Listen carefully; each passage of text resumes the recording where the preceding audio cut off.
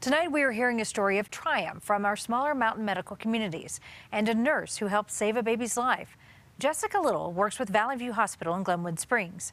Mountain Newsroom reporter Spencer Wilson brings us this story tonight. Spencer, she had just been trained on how to deal with this type of situation a week before.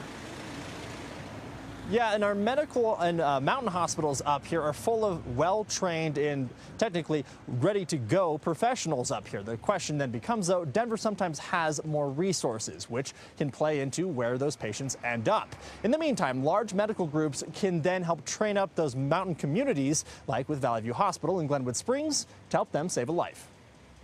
We'll monitor the baby's oxygen. The staff alert button went off, and I ran back to the bedside and found the pediatrician and the nurses that were on resuscitating a baby and jumped in and started to help. Jessica Little says she felt confident in what she was helping with. She had just done hands on training with this same issue a week before with Rocky Mountain Hospital for Children. It's high tech stuff. So basically, really smart robot mannequins.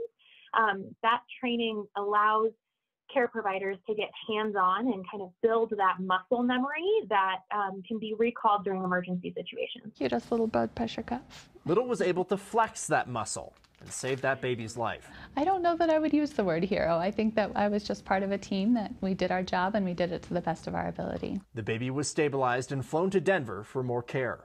And if they need, um, say, surgeries or various other things, they have to go to other hospitals to get that. And so we have a flight team, we have a helicopter. A happy ending, she says she owes in part to her teachers, who couldn't be more proud.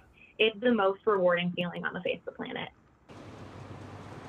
Now, Little told me that these little moments are part of why she became a nurse in the first place, providing care for those people who need it desperately. Live in Summit County, Spencer Wilson covering Colorado first. That is just beautiful. Spencer, thank you. Well,